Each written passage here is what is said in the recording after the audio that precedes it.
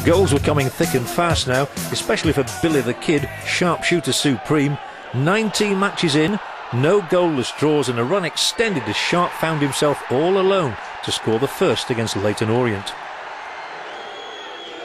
Martin Ling's side had made a slow start to the campaign with only three wins so far, one in the last game against Cheltenham.